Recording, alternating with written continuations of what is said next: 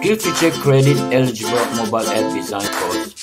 Use your SkillsFuture credit fund to offset for the cost fee of $99 only. If you are freelancers, small business owner, teachers, and self-employed, you need your own mobile apps to promote yourself and your services or your products. You will be able to create your own mobile app in one day.